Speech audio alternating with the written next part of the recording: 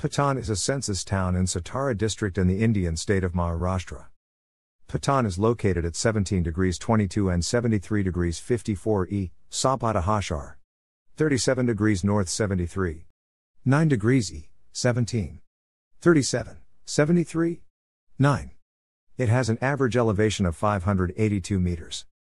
As of 2001 India census, Patan had a population of 11,619. Males constituted 52% of the population and females 48%.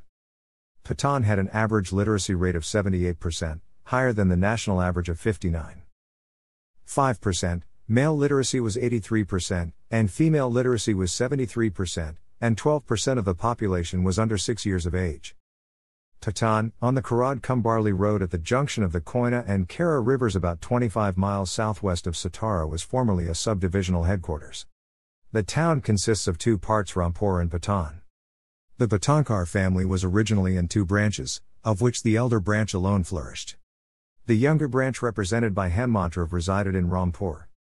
His mansion, a fine large house, was completely destroyed by fire in 1874. Next to it on the south is the mansion of Sardar Nagojirav Patankar, a first class Sardar and honorary magistrate who exercised civil jurisdiction in his area. The mansion, with strong high stone walls and ramparts and a gateway flanked by bastions, is well maintained. A rose and plantain garden has been laid out close to it. The Patankars were the Deshmukhs under the Marathas of the whole surrounding district and had charge of Dategad fort three miles to the northwest. During the struggles between the Peshwas and the Pratnis, they did pretty much what they pleased. The elder branch is one of the few prosperous Maratha families in the district. There is no historical mention of Patan. But title deeds show that the Bijapur kings had a well established rule here. The district was assigned to the Pratinidhi by Ram Raja but was wrested from him by the Peshwa after the rebellion of Yemaji Shivdev Mutalik in 1750, Grant Duff's Marathas Volume I, 447. Dot. It was not finally secured to the Peshwa till the time of Bapu Gokhale. Throughout the 18th century, both the authorities issued contradictory orders, but the carrying out of these orders largely rested on the will of the Patankars alone. The town has a number of public buildings, including three primary schools, two for boys and one for girls, four high schools, in which one is newly formed English. Medium school, one college, two training colleges, the Nagojirav Vachanalaya, a primary health center with a family planning center and a maternity home. A district local board dispensary, district judges court, and a number of other offices. Besides of this, there is also a big sport complex, a drama hall, banking facilities, cottage hospital, e.g.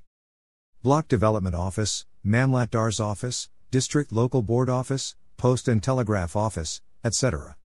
There is an inspection bungalow and a bridge is built recently on the Kera River.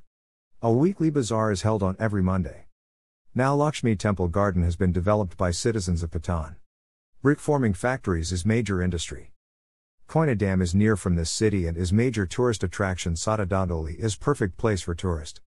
Recently Durg Sammelan is got carried out here. In Patan there are four high schools namely Dadasaheb Patankar High School, Main Deshmukh Vidyalaya, Salunk High School and Last Kanya High School. Recently started Bhimrao Nagojirav Patankar formerly known as Nutan Marathi Shala for high school education.